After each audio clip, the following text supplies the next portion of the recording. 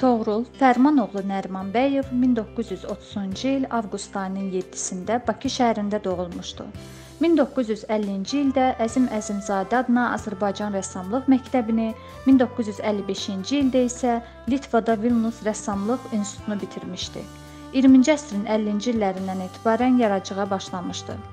O, ayrı-ayrı dövrlərdə çəkilmiş Bayıl mənzərəsi, Səadət, Sevinc, Həyat naminə, Bakı, Şəkidə bazar, Bakıda bazar, Səttar Bəhlulzadənin portreti, İçəri şəhər, Qız qalası, Şirvanşahlar sarayı, İçəri şəhərdə küçə, köhnə Bakı kimi rəngkarlıq nümunələrində öz yaradıcılıq və eksperiment axtarışlarını davam etdirib ortaya qoymuşdu.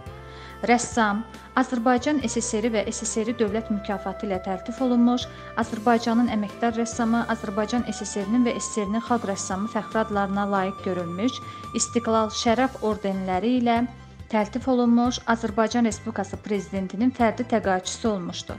Toğrul Nərimanbəyev 2013-cü il iyun ayının 2-sində Parisdə vəfat etmişdi.